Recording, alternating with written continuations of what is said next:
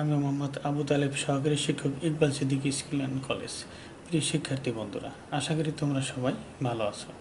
আমি আজকে আলোচনা করব অষ্টম শ্রেণি গণিত বিষয়ের অনুশীলনী এক এর প্যাটার্ন সংক্রান্ত কোনো সমস্যা নিয়ে। আজকে সমস্যাটি আমার হলো এগারো নং সৃজনশীল সমস্যা। এগারো নং সৃজনশীলটির উদ্দীপকটি হলো পাঁচ, তেরো, একুশ, উনত্রিশ সাঁত্রিশ এরূপভাবে তাহলে ক নং প্রশ্নটি হলো উনত্রিশ ও সাঁত্রিশকে দুইটি বর্গের সমষ্টি রূপে প্রকাশ করো। খ, তালিকার পরবর্তী চারটি সংখ্যা নির্ণয় করো। গ, তালিকার প্রথম পঞ্চাশটি সংখ্যার সমষ্টি নির্ণয় করো। ক নং সমস্যাটির সমাধানে আসতেছি। ক নং সমস্যাটি ছিল উনত্রিশ ও সাঁত্রিশকে দুইটি বর্গের সমষ্টি রূপে প্রকাশ করা। তাহলে আমরা লিখতে পারি উনত্রিশ সমান উনত্রিশ সমান দুটি পূর্ণবর্গ সংখ্যার সমষ্টি পঁচিশ যোগ চার। তাহলে পঁচিশের বর্গমূল পাঁচ, চারের বর্গমূল দুই। তাহলে অর্থাৎ পাঁচ স্কোয়ার যোগ চার স্কোয়ার। অতএব উনত্রিশ এর দুটি বর্গের সমষ্টি রূপ হলো পাঁচ স্কোয়ার যোগ চার স্কোয়ার। এখন আসি সাঁত্রিশ সাঁত্রিশ আমরা দুটি বর্গের সমষ্টি রূপ লিখতে পারি সাঁত্রিশ সমান ছত্রিশ যোগ এক, অর্থাৎ ছয় স্কোয়ার যোগ এক স্কোয়ার।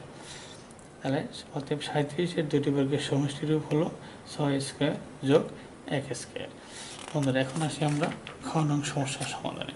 খ নং সমস্যাটি এই প্রদত্ত তালিকার পরবর্তী চারটি সংখ্যা চাওয়া হয়েছে।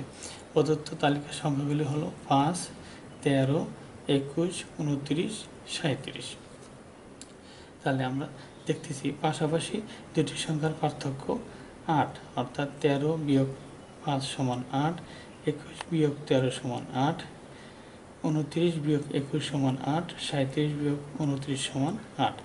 এখানে প্রতি ক্ষেত্রে পার্থক্য আট। তাহলে অর্থাৎ অর্থাৎ প্রদত্ত তালিকার পূর্ববর্তী সংখ্যা, সংখ্যার চেয়ে পরবর্তী সংখ্যাটি আট বেশি।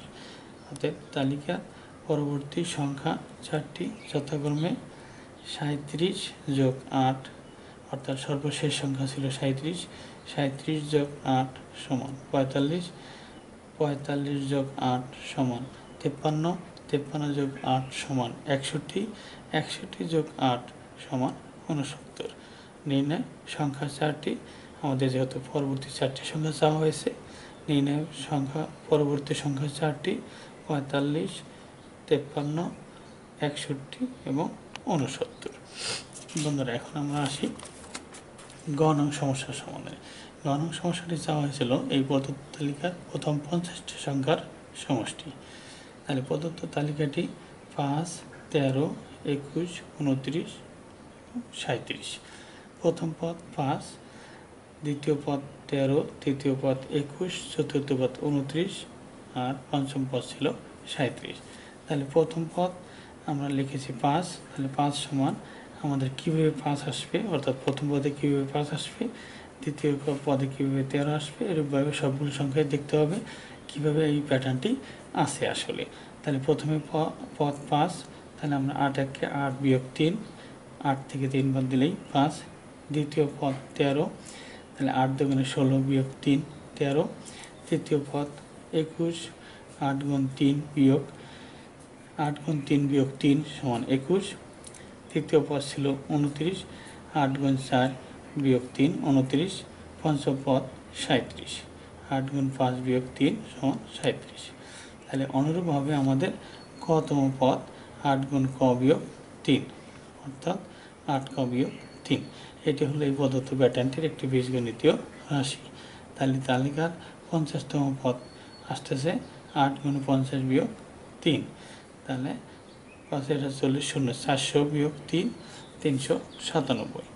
অতএব তালিকার প্রথম পদ এখানে এই তালিকাটি বিশ্লেষণ করে দেখা যাচ্ছে প্রথম পদ পাঁচ, শেষ পদ হলো তিনশো সাঁত্রিশ আর পদ সংখ্যা হলো পঞ্চাশ। অর্থাৎ এরা পঞ্চাশের সংখ্যা সমষ্টি চেয়েছে।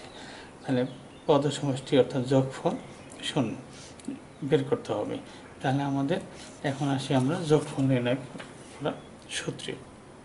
নির্ণয় পদ সমষ্টি আমাদের পদ সমষ্টি নির্ণয় করার সূত্র হলো প্রথম পদ যোগ, শেষ পদ গুণ, পদ সংখ্যা ভাগ দুই। তাহলে প্রথম পদ পাঁচ, শেষ পদ তিনশত সাতানব্বই গুণ, পদ সংখ্যা হলো পঞ্চাশ। তাহলে তিনশত সাতানব্বই আর পাঁচ যোগ করলে হলো চারশত দুই গুণ, পঞ্চাশ ভাগ হলো দুই। আমরা এখন কাটাকাটি বা গুণ ভাগ করতে পারি। এই দুই দিয়ে পঞ্চাশে ভাগ করলে হলো পঁচিশ। অর্থাৎ চারশো দুই গুণ হলো পঁচিশ।